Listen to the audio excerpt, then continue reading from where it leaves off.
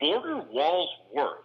And what we want is we want walls in strategic locations, which will then allow us to dictate where the um, narcotics are entering the country illegally. You're listening to Code Red with Secure America Now, the largest national security grassroots army.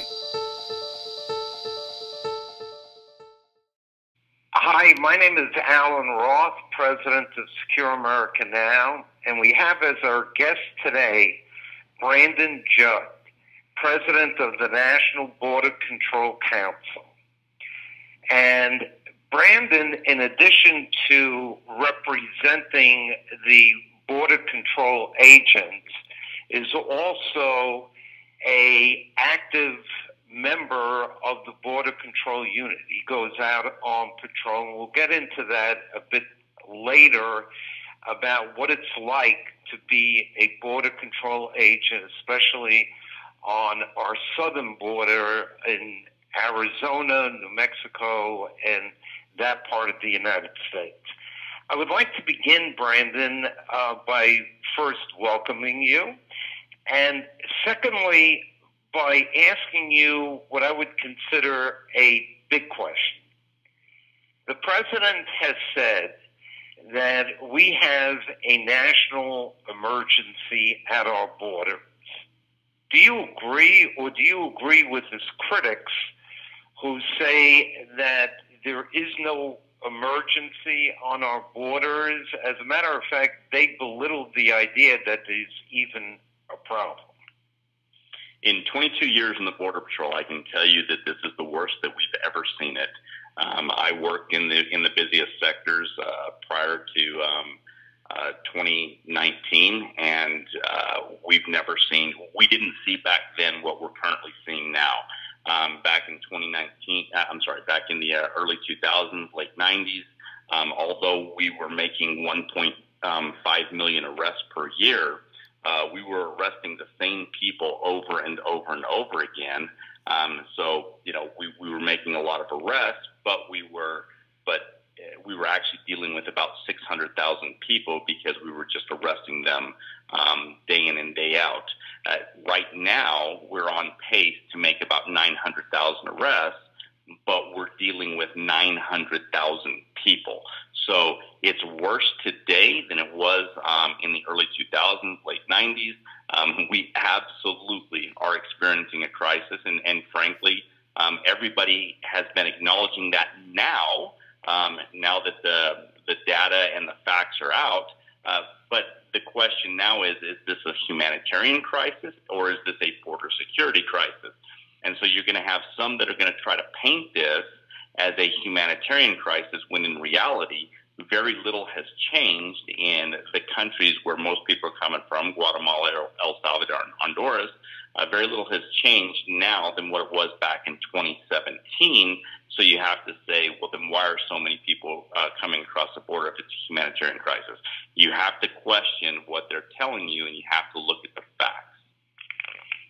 And those facts, uh, from a conversation that I was privileged to have with you include what you described or what you identified as migrant caravans that are actually put together um, and organized.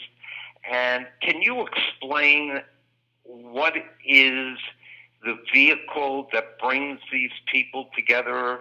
um, these mass numbers of people to come to the American border? So we call them magnets or, or drivers. There are certain magnets that draw people here to cross the border illegally. And the main magnet that we have is what we call the catch and release program. Uh, when somebody comes to the United States and they violate our laws, cross the borders illegally, all they do is claim asylum. Uh, and based upon that asylum claim, we then release them into the United States pending a hearing down the road. Well, normally those hearings don't happen um, for two to five years, and the vast majority of these people don't show up to their hearings. They just disappear into what President Obama coined as the shadows of society. So we continue to add on to the illegal population in the United States year after year because they're gaming the, the system. They're, they know what the loopholes are, and that is the magnet. Knowing that all you have to do is cross the border illegally, claim asylum, and then you will be released into the United States, and then you can disappear and never show up to your court date. That's the catch and release magnet that exists, and that's what's drawing people here to, to cross our borders illegally. Can you explain to our listeners the role that cartels play in this process? When I started my career back in 1997, uh, we had a lot of uh, mom and pop smuggling organizations, uh, both narcotics and um, uh, human traffickers. Now, all criminality that takes place on the border is controlled by organized crime. There are no more mom and pop smuggling organizations. It's all controlled by these very violent, dangerous cartels. Um, what they do is they recruit people to come to the United States. They tell them, they give them the information of all you have to do is pay us, we'll get you to the border, you cross the border, and the United States government will release you into the United States. And so they're actively recruiting people, and they're not just recruiting people from Mexico, from um, uh, the uh, from Central America, um, like Guatemala, Honduras, and El Salvador. They're they're recruiting people from around the world, and we've we've had an influx of people from Africa. We've had a, a huge influx influx of people from Cuba. Um, we arrest people from China. So most people think that all we do is arrest people from uh, from Mexico and Central America, and that is as far as the, from the truth as could be possible. And these cartels, they played this role in this, in going out and and convincing people to pay them money for them to get them to our borders and to have them cross our borders illegally. Has there been any instances where people identified as being uh, in some way, shape, or form involved with terrorism being caught or crossing our borders? So uh, we wouldn't, the, the, Border Patrol wouldn't know that. Um, we, we, we have absolutely arrested people from the Middle East. Um, I'm not aware of, of anybody that's ever been on the terrorist watch list that is that has been arrested. But let's be honest, if you're on the terrorist watch list, you're not going to be coming to the United States. You're going to be hiding out um, in Afghanistan, in Iran. You're going to be hiding out there. Um, we have absolutely arrested people from the Middle East that have crossed the border illegally. Now, the scary part about that is if somebody from the Middle East is crossing our borders illegally and trying to evade detection, then it's most likely that they're coming here for nefarious purposes. But when we when we arrest somebody from the Middle East, we immediately turn them over to Homeland Security investigations, um, and then they they obviously contact the FBI and so on and so forth. Um, and what happens from there, the Border Patrol will never see, will never know. Our job is to take people into custody to cross the border illegally, and then we turn them over to the proper authorities. Um, so that's the process that we play, but we absolutely um, arrest people um, trying to enter our country illegally from the Middle East. As a border control agent, as representative of border control agents, what is it on a typical day that the border control agents of the United States of America do? What are your responsibilities? And uh, you had mentioned uh, in your previous answer that when you make certain arrests, you turn them over to other authorities. What is it? Where in the process do the Border Control agents sit?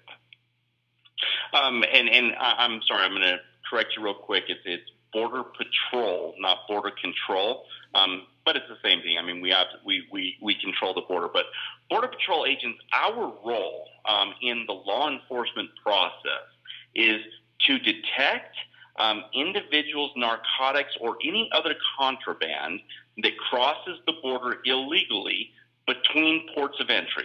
So on the southwest border, or even on the northern border. Um, and New York is a is a state that, that has a border with Canada. Um, we have uh, we have points of entry that where you can enter the country legally. Um, we don't work um, at the ports of entry.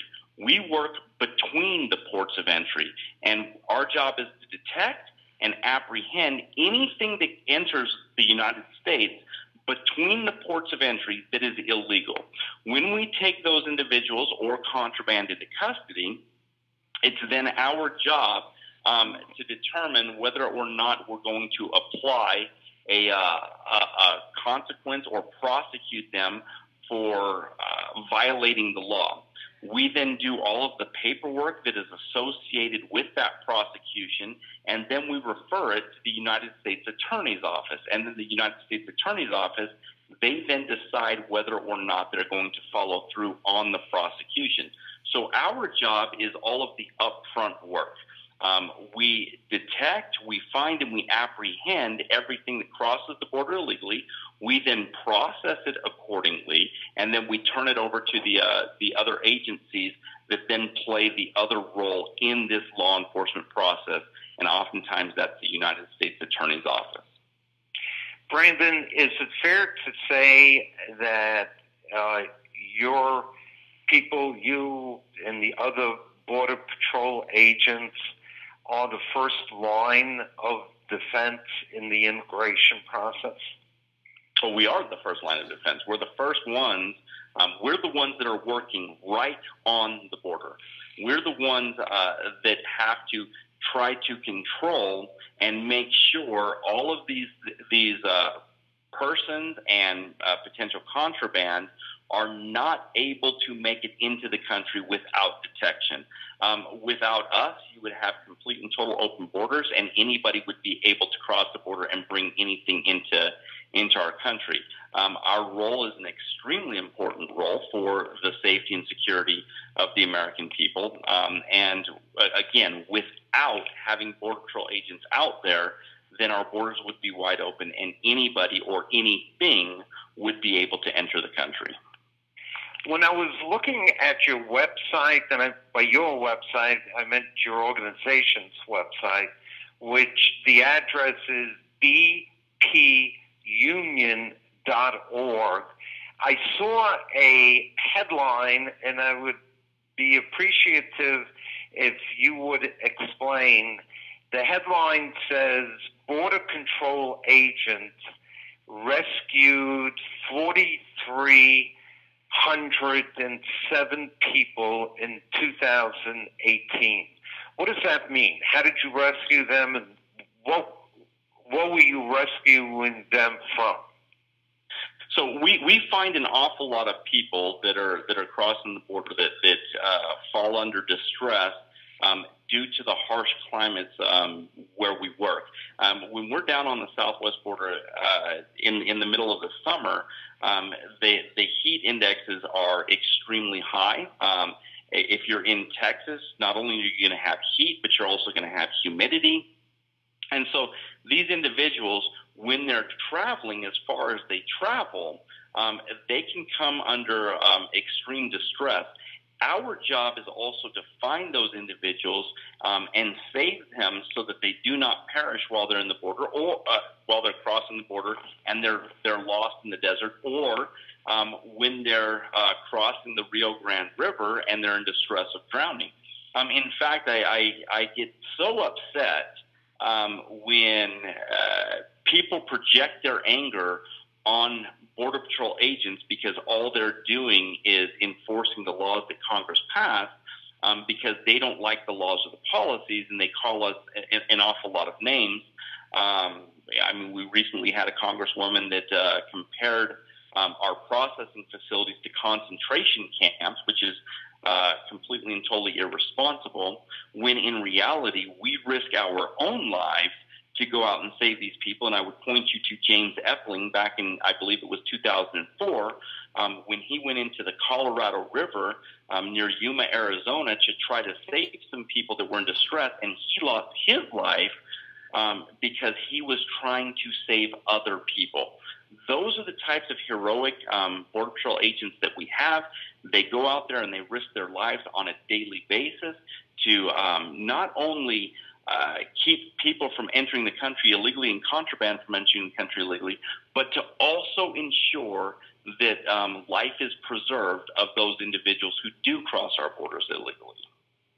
We at Secure America Now thank you for all that you and your team do because you are putting your lives at risk on a daily basis. And I'd like to ask you in the United States, as we all know, we have had an ongoing dispute on whether the construction of a border wall would have an impact in stopping illegal immigration from coming into our country. Where do you come down on that question? I'm going to give you some examples, and, and I believe that these examples, these facts, I think that they speak for themselves. Um, I transferred to the Tucson um, Border Patrol sector in 2002. Um, I went to what was called the Naco Border Patrol Station. That station was responsible for patrolling about 56 linear miles of border. Um, those 56 linear miles of border uh, in three in three consecutive years we arrested over a hundred thousand. Uh, we made over a hundred thousand arrests in those in those consecutive years 20, 2003 2004 2005 over a hundred thousand arrests is what we made in those three years. That was pre walls um, then we built the walls and those arrests went from uh, oh, over a hundred thousand down to fifteen thousand. Uh, the proof is in the pudding border walls work. And what we want is we want walls in strategic locations, which will then allow us to dictate where the um, narcotics are entering the country illegally. And if we can dictate where illegal entries and illegal contraband are coming into the United States, we can then be a lot more effective in our jobs. Walls work, they always have worked. Um, if they didn't work, Congress wouldn't have passed, and this was bipartisan, they wouldn't have passed a Secure Fence Act, um, which they, they did in fact pass. Um, but now, due to politics, you're having a lot of people say that, that walls are medieval, that they don't work, um, that there's a lot of other things that we can do, when in reality, uh, some of the best technology is the older technology that has worked in the past you know, walls are used. I know, for example, in the state of Israel, when they put up security walls, it enhanced the security of the nation um, in a major way. And um, and I we agree that walls do work, and Secure America Now is committed to helping President Trump uh, get this wall built. And speaking of President Trump, he made promises when he ran that he was going to uh, dedicate the resources as well as the political resources, as well as mon- monetary resources to uh, securing our borders. Do you think that the president is sincere in trying to bring a halt to illegal immigration in this country? I, I've gotten to meet with the president on many occasions. I've, I've been able to have um, several conversations with him. Um, I know that he is doing everything that he can uh, to give the Border Patrol the resources that we need in order to do our jobs, including building um, building walls in strategic locations. Um, the problem that we face is the political gridlock uh, that there is today. And with Congress not funding um, those programs um, that we that we absolutely have to have, um, what we've got to have is we have to have people in the United States that are constantly calling their their congressional officials, letting them know what they think about border security. If we were to have an open and honest debate in the United States, the vast majority of American citizens would agree that the border needs to be secure. But because the mainstream media will not take up an honest debate on what is actually happening on the border. Most Americans don't understand. And so my job and everybody else's job that wants to secure the border is to get that message out, get that word out so that the president will have the support that he needs that will force Congress to give him the funding that he is trying to get. But I can personally tell you, he is doing everything in his power to try to secure the border. He's doing it because he wants to protect the American public and all those people that are living within our borders legally, um, and, and he does it because he cares about the people. Brandon, um, we agree with everything that you said. And in addition to this podcast and other initiatives that we have taken, uh, we we at Secure America Now are interested in coming down to the border and actually film what is going on there and what the burden or the task of your agents are on a daily, on a minute by minute basis. And with your assistance, um, uh, we would love to come down and film a video and disseminate it and cover issues that the mainstream media is not covering. I greatly look forward to the time that we can go out on the border and show you everything um, with your film crew. I'm, I'm hopeful that we're going to be able to set something up in um, in August um, so that we can get this done and we can um, get your viewers, your listeners, um, the knowledge that they need to make proper decisions on what needs to be done for border security. Um, we appreciate the work that you do. We appreciate the support um, that you give to our Border Patrol agents. Um, and and as, as we continue to get more and more support, we will, in fact, secure the border. I just, uh, in closing, I want to mention that also looking at your website, which I'll repeat the address, bpunion.org, I saw a story about a GoFundMe campaign for a Border Patrol agent, Jeff Miranda, who is suffering from a really nasty disease. And I know about it because it actually, a member of our family uh, have, was impacted. It's called ALS or Lou Gehrig's disease. And we're going to be asking our supporters, our members, to uh, help support the Miranda family as they fight this extremely vicious disease. And uh, and uh, I made a personal contribution but I'm going to ask others to do the same because, as I said in the comment, uh, Jeff and the other Border Patrol agents have, in fact, uh, been defending us, and now, in their time of need, we should help defend them. That is so greatly appreciated, and I cannot tell you how much not only the family will appreciate that, but other Border Patrol agents will, will see what you're doing and, and the work that you're doing, and they will greatly appreciate it too. Thank you very much.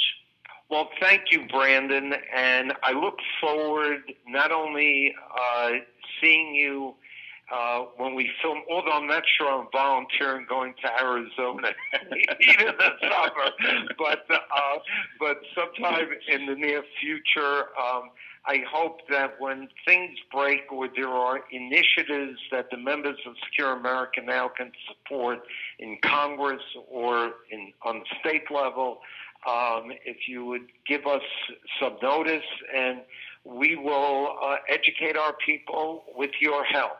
And this has been a very instructive conversation. And one, and I just want to repeat that we appreciate what you're doing and what your agents are doing. Thank you very much. Thank you, Allen. Thank you for listening to Code Red with Secure America Now. We are the largest national security digital platform in the nation, dedicated to bringing critical security issues to the forefront of the American debate. For more information, visit our website at www.secureamericanow.org.